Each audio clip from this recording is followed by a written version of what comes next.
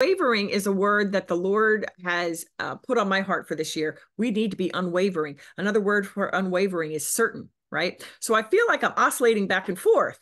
And what are we, it's so fun that we are we're double minded. What are we minded uh, thinking about of two different things? Belief and unbelief, right? Mm-hmm. We do say belief and frustration.